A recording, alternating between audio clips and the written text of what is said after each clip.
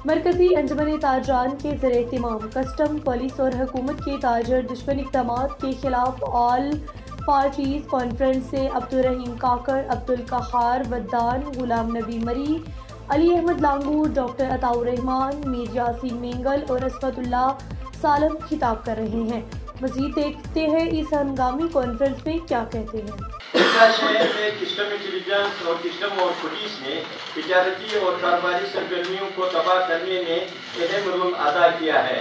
और रोज़ाना की बुनियाद पर चौकों शराहों पर तजारती सामान से लोड गाड़ियों से सामान उतारने, रिश्वत तलब करने का सिलसिला खत्म किया जाए। नंबर नौ, कोयटा शहर में टीपी के बारी जुर्मानों आवाम को तंग करने, गरीब रेडी वालों के साथ जारी सबों का खात्मा किया जाए।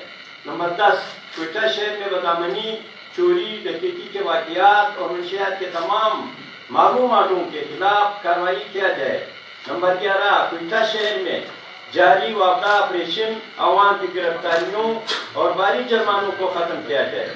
नंबर बारह कोयटा शहर में गरीब रेडी वालों के लिए जगह का बंदोबस्त किया जाए। नंबर तेरह कोयटा शहर में ईगल स्क्वाड की जानब से आवाम को तंग करने रिश्वत तलब का सिलसिला खत्म किया जाए।